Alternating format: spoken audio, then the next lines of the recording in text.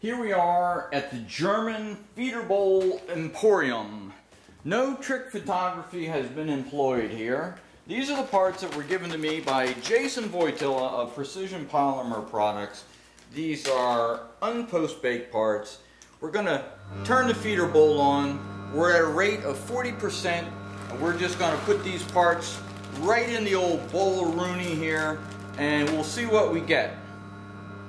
As you can see, our red movie theater velour feeder bowl is just pushing these babies right out of the bowl. No adjustments, no scientific anything, we're just throwing them out. Of course I doubt you could inspect them this fast because they're all bunched together, but this uh, little velour baby really pushes them out. We got a couple here in the in this dead zone in the center and if you'll allow me, well, actually, they're going out there by themselves. Maybe I won't touch them. They're actually going to go out. That's pretty cool. But I imagine we're going to be able to feed all of these parts out of this bowl without any issue whatsoever.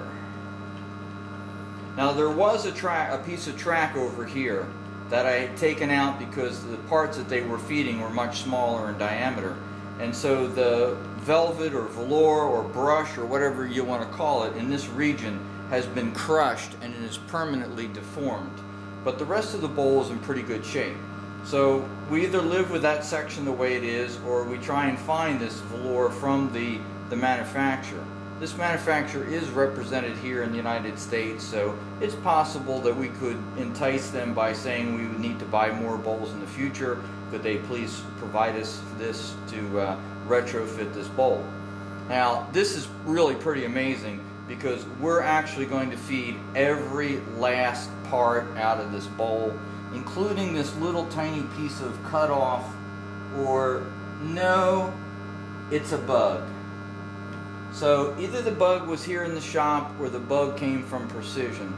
But in any event, we fed every part out of the bowl.